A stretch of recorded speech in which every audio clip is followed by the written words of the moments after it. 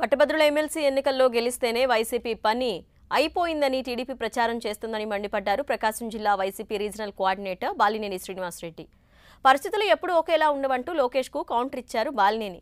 రెండు వేల పంతొమ్మిదిలో నూట యాభై ఒక్క సీట్లు వైసీపీ గెలిస్తే టీడీపీ కేవలం ఇరవై మూడు స్థానాల్లోనే గెలిచిందన్నారు బాలినేని. టీచర్స్ ఎలక్షన్స్ గెలవటం గ్రాడ్యుయేట్ ఎలక్షన్స్లో ఓడిపోవడం జరిగింది. గత నాలుగు సంవత్సరాల నుంచి కూడా ఎన్నో ఎలక్షన్స్ జరిగినాయి. అన్నీ కూడా క్లీన్ స్వీప్ చేశాం. ఈ ఎలక్షన్లో గ్రాడ్యుయేట్ ఎలక్షన్స్లో టూ పర్సెంట్ ఓట్లు ఉన్నటువంటి గ్రాడ్యుయేట్ ఎలక్షన్స్లో మరి వాళ్ళు గెలిచిన దానికి ఏదో అసలు మొత్తం ప్రభుత్వమే మాదైపోయింది జగన్ వ్యతిరేకత ఉంది అని చెప్పి ఏదో మాట్లాడుతూ ఉన్నారు. మరి టీచర్స్ ఎలక్షన్స్ గెలిచిన దానికి మేమేం ఆర్భాటాలు చేసుకోలేదు. ఫస్ట్ టైం టీచర్స్ కూడా మేము నిలబడ్డాం. ఫస్ట్ గెలిచాం. రెండు రెండు టీచర్స్ గెలిచాం. కానీ మేము ఎక్కడ కూడా ఆర్భాటం చేసుకోలే. వాళ్ళు ఆర్భాటం చేసుకుంటున్నారు.